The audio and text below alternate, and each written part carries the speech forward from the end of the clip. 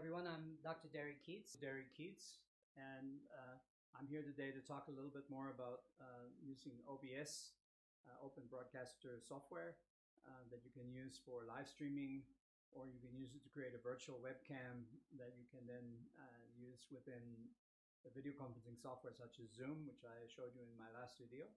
In this video, I'm going to be talking about how to use a mobile phone or indeed a tablet um, as an input source for OBS. Now, pretty much anything that you can do on your phone can be done as an input source for OBS. Now, what, what I'm doing right now, I'm looking at you, and you are looking at me, and you're seeing me through my phone because I'm using my cell phone as a webcam.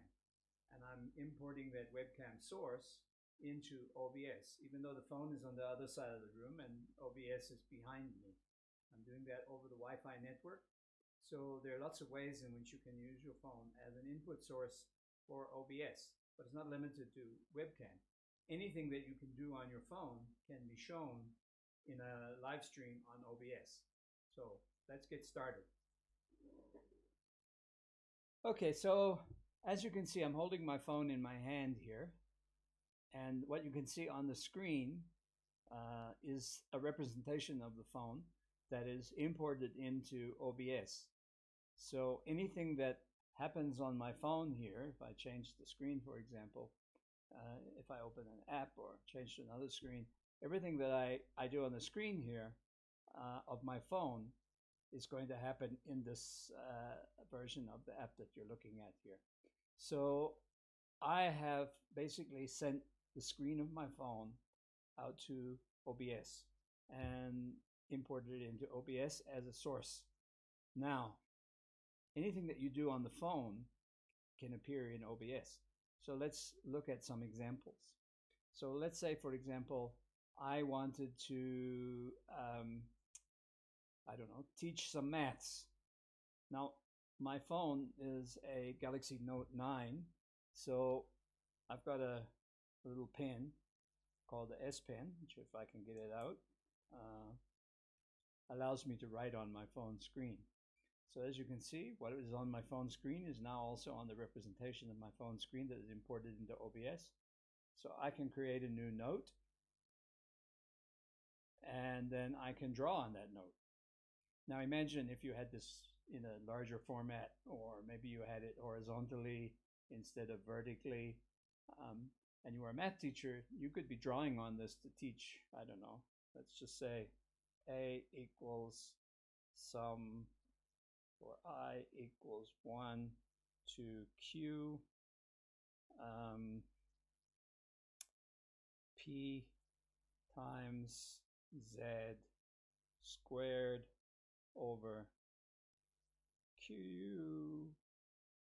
I don't know if that makes any sense but if you were teaching math you could use something like this imported into your OBS in order to be able to create basically the same as a whiteboard or a chalkboard in the classroom. Or if you're teaching biology and you want to draw a cell, so here's a plant cell, for example, a couple of plant cells, some sort of connection between them.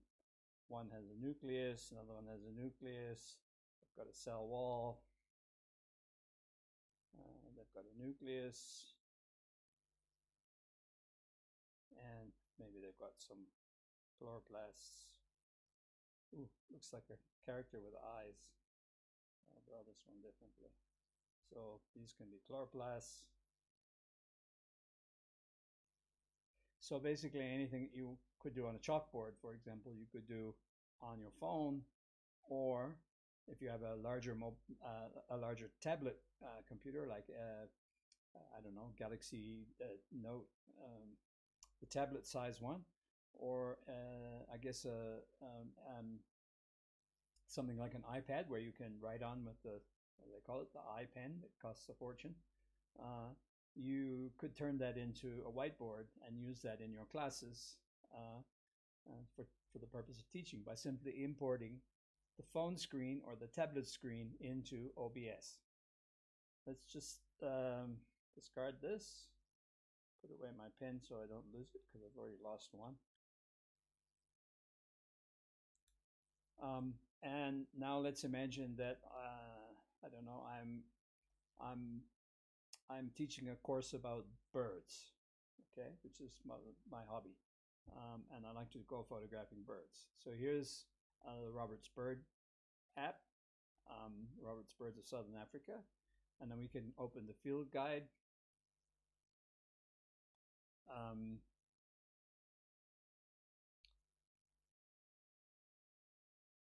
no error occurred. Yeah, see, Roberts Birds drives me nuts sometimes. Okay, so we have to close it and open it again. The joy of Roberts Birds. Okay, so now we actually have our birds here, so we can look and see.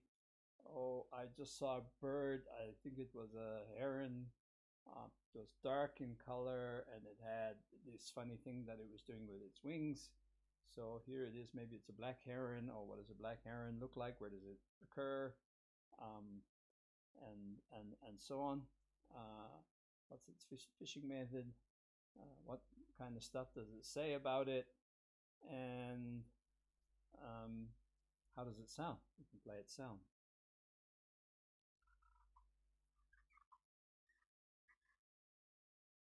So that's another example of how you can use apps on your phone as part of a teaching process. So basically anything that you can do on your phone, yeah, you can do in OBS, you can do in a way that enables you to to to teach using those those things. Um, I mean, pretty much any application. So let's take Instagram as an example. Here's my Instagram. Uh, let's just go to my account, and you can see that there is some birds, and maybe I want to talk a little bit about the wood owl and talk about its characteristics and uh, you know, so anything really, literally anything on your phone can be imported into OBS as a source of content, including the webcam, because that's what I, I did at the beginning, right? I showed you my webcam. Okay, so here I'm going to just show you how I do uh, the import of the webcam, like when I was uh, turned around just now and speaking to you and my phone was on a tripod behind me and it was acting as a webcam and inputting that as a source into OBS. So let's start with that. So I'm going to start on the phone side first and show you the app that I use. Then I have to stop uh, this and uh, I have to do something different on my computer in order to be able to show you both sides uh, because I'm using OBS to stream this right now into a recording. Um, so you won't be able to see what is happening on the OBS side. You'll only be able to see what I put into OBS as a source. So I'll have to just stop and you won't notice that of course because it'll just be a little boop and I'll be back.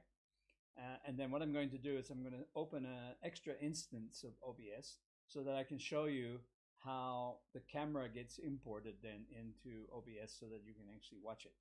So the application that I use, let's put this down. So, so the application that I use uh, is um, is one here called DroidCam X, as I uh, may have mentioned before. And um, this is available in a free version as well as a paid version. I've got the paid version, hence I've got the X. I'm going to click uh, DroidCam X on my phone here, which you can see.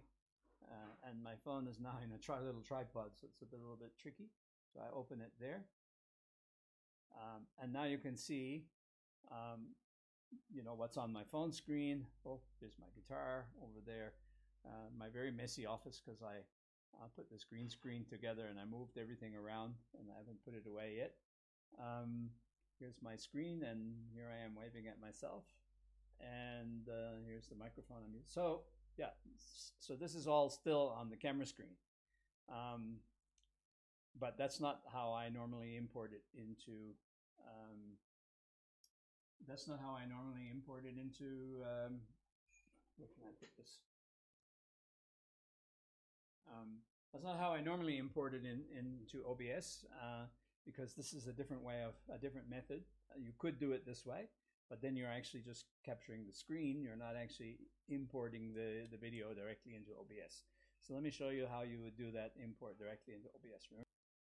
Okay, so now what you can see here is uh, both my phone screen and the output of the phone screen to a webcam, or a webcam in quotation marks, not actually a webcam. I'll explain that in a minute. So if you if you look at uh, the DroidCam uh, screen on the phone, you can see it's the phone is represented because it's always going to represent itself vertically, which looks a bit weird. So let me just turn that off for a, a moment and just focus on this uh, screen over here on the right hand side. And that's what you would see as the output of using DroidCam uh, to import the web the phone as a, the, the phone's camera as a webcam into OBS. Does that make sense? I hope so. So now let's just uh, turn um, AirDroid back on and see how we actually go about doing this.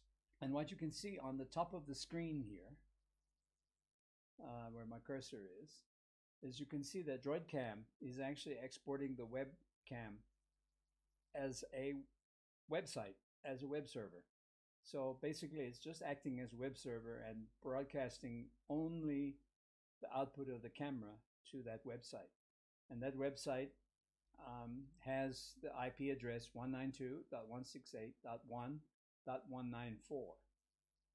It could be different. It will be different on your network because it automatically picks up the IP address from your uh, Wi-Fi network. But your Wi-Fi uh, network has to have both your computer that you're outputting this to and your cell phone on the same network. Doesn't mean they have to be both on Wi-Fi. Like my desktop here, for example, is plugged into my Wi-Fi router via a cable, but they share the same IP address range. So my um, my computer is 192.168.1.2, I think, um, and the webcam is at 192.168.1.194. So here you see the browser IP, how you access it. You simply open it in a web browser, HTTP colon slash slash 192.168.1.194 and then it uses a port 4747 I've never found any reason to change that. I doubt you will ever need to change that but it, you can change it from uh, you can change it from the settings. Um, and uh, uh, changes anything anything that will work on your network. It doesn't matter.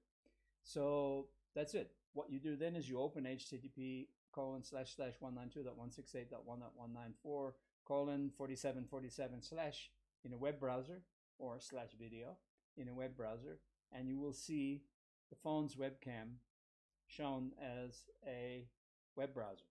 So whenever you, you're actually looking at um, um, a webcam from your phone, basically what OBS is doing is it's opening your phone as if it was a website. And I'll show you now how to do that, but I have to stop and reconfigure my screen so I can show you that. So I'll be right back. You won't even miss me because I'll be only gone for a second.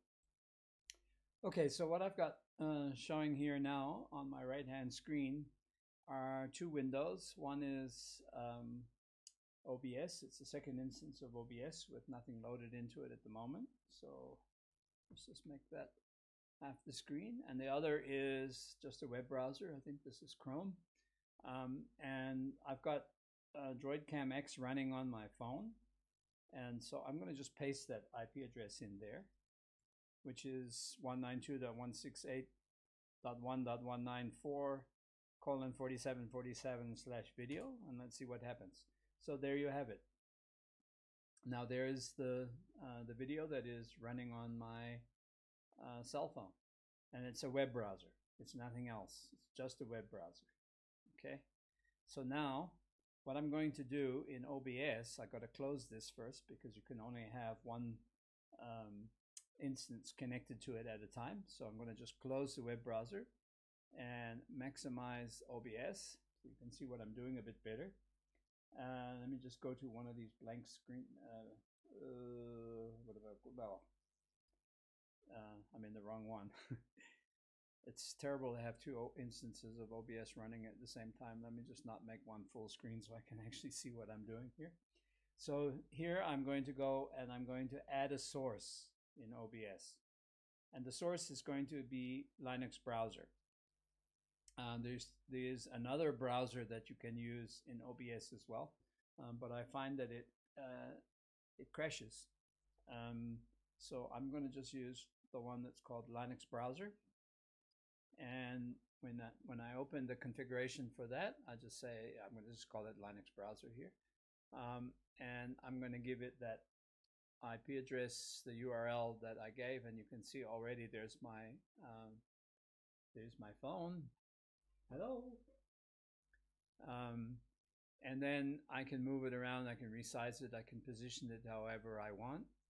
Um, you can see that there's a, lot of extra black around the actual um, video image itself.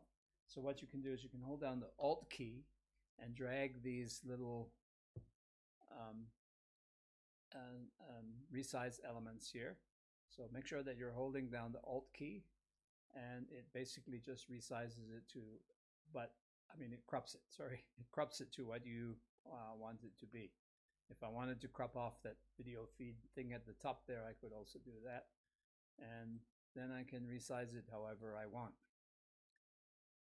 And that's basically, that's how you put the that's how you use your cell phone as a webcam. So the, the short version of it is you export the um, the webcam camera as a uh, video stream via a web server. You open that video stream uh, via a web server just like you would open any other uh, thing, any other website, and you import that into OBS, making use of the browser or the Linux browser, depending on which version of OBS you're using and which plugins you've got installed. And then you can do whatever you want with it. Um, and so that's how you get your phone working as a webcam in OBS. Now I'm going to just uh, exit again from this and I'm going to show you how to use AirDroid um, to do the capture of the screen of your phone, which is what I had just showed you earlier on. Just want to show you how to do that. It's also very simple. As you can imagine now, with capturing a web stream or capturing a window, you can pretty much do anything you want on your on your OBS uh, stream. So let's uh, take a little exit here while I reconfigure, and then I'll be right back to set it up for that. Okay, so uh, I'm back, and on my screen you can now see uh, that I've got two things here. I've got um, my second instance of OBS on the left-hand side uh, here. And on the right-hand side, I've got um, AirDroid. Now, for those of you who don't know AirDroid, you basically you connect it's it, you connect to it uh, via uh, QR code, and uh, so I just scanned the QR code with my phone and clicked sign in. So now you can see that it's signing me in, and now it gives me access to um, uh, to a bunch of different tools that I, ca I can use to interact between my phone and my computer. Um, the one that I want to use is called mirroring, which is down here. So if I click on mirroring, now on my phone it says start now. So I click start now on my phone, just like it shows me there. And uh, when it's done opening, you will see whatever is on my phone screen is now in this AirDroid window. Okay, so I can um, I can go to my my home as long as I don't exit AirDroid on my phone. Just don't exit AirDroid because uh, if you do that, everything will shut down. So now I can go to my home screen on my phone, for example, and everything shows up there in the web browser, just like I was showing you earlier on. So now how do I get that into um, OBS then? because it looked kind of funky, didn't it, when I was showing you that just now. Actually, it's not very difficult at all. So I'm going to just put my phone down. And what I will do now is I will go, I keep wanting to go to the wrong OBS. I'll go to this introduction uh, scene that I have here and I pick a source. And the source that I'm going to pick is um, Window Capture X Composite. Okay, it will be different on different platforms. I don't know what a window is called on uh, on Windows or on Mac, but there will be something equivalent if you're using one of those platforms. So you click on window capture, um, and I'm just going to call it cap uh, AirDroid. Okay, actually I normally call them phone, so I'll call it phone AirDroid. Okay, so um, now I, I get to choose which window I want to uh, capture. So there's mirroring AirDroid Google Chrome. That's the one I want. Okay, so when I when I've got that, that's it. Now it behaves in um, in OBS just like I just showed you with the with the uh, with the phone screen, right? You have these uh, can, um, you have these corners and central uh, points where you can either resize or uh, crop. So I hold down the Alt key on my computer and I just crop it to, to the edges of this um, of the window, the mirroring window. And where do I want it? I want it to go there, uh, all the way to the bottom. Now that I've got it cropped to what I want to show, I can resize it, uh, move it around, do whatever I want with it because it's just another source in um, in OBS. So if I want to um, do that do that little thing that I showed you, for example, popping out my pen and creating a note um, and doing it here. Yeah, it's exactly how it works. It's very, very simple. So you can take actually any source, anything that can be in a web browser, and crop it and turn it into a source in OBS that you can interact with. I hope that's been useful. Okay, so we're going to just finish up quickly. I, I hope you found it useful uh, looking at how you can use your uh, phone as a uh, as an input source to OBS and the kind of things that you can do with it.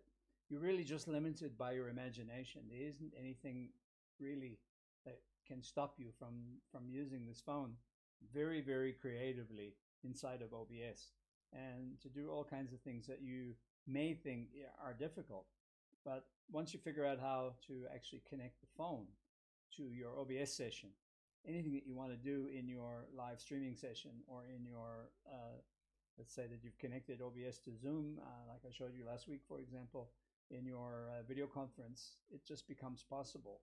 And uh, so hopefully you've enjoyed it and you will figure out how to make use of this and you will become really, really creative. Uh, if you if you do something interesting with that, please drop me a note. I'd love to know what you what you've done. Uh, point me at the videos that you used, and I will share them as well. And uh, if you enjoy this, please um, hit like and subscribe if you don't mind. Uh, it's helpful to me if you hit like and subscribe, and uh, also you'll be able to keep in touch and see when the next one of these comes out, which hopefully will be in another few days. So thank you and bye.